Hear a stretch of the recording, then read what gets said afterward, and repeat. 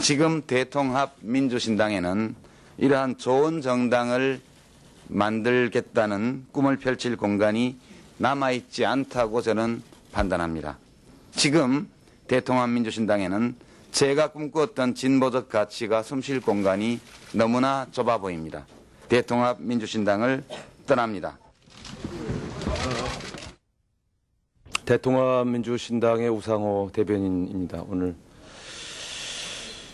이상하게 제가 대변인을 맡으면 그렇게 탈당 러쉬가 참 이 저하고 이 탈당이 참 무슨 인연인지 잘 모르겠습니다만 이전에 에, 열린우리당 시절에도 늘 탈당하고 나서 와서 이렇게 늘 개면적인 논평을 하곤 했는데 그 어떻게 하겠습니까? 이미 탈당하시겠다는데 그래서 참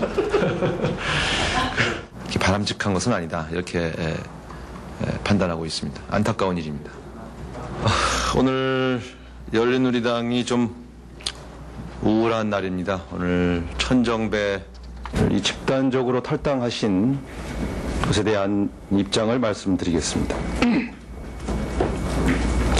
아니 저는 저 제가 절단한다 너무 고생을 많이 하시고 아, 참. 아 요즘 저 탈당에 관한 논평만 하느라고 아주 죽었어요. 아니. 아주 죽었어요. 아니, 네. 이전에 에, 열린우리당 시절에도 늘 탈당하고 나서 와서 이렇게 늘 개면적인 논평을 하곤 했는데 오늘은 좀 단호하게 말씀을 드리겠습니다. 대단히 안타깝고 유감스러운 일입니다. 어, 그러나 오늘 탈당의 내용을 보면서 왜 이렇게 떳떳하고 당당한지 모르겠다. 그럼 남아있는 사람들은 뭔가? 함께 몸담고 있던 조직, 더군다나 지도급 인사였던 분이 그 자기가 몸담고 있던 당을 떠나면서 이렇게까지 죄를 뿌릴 수 있는 거냐? 당이라고 하는 것은 어려운 일이 있어도 책임지고 끌고 가야 할 가정 같은 곳입니다. 일시적인 사랑을 위해서 들르는 러브 호텔이 아닙니다. 당이라고 하는 것은 러브 호텔이 아닙니다.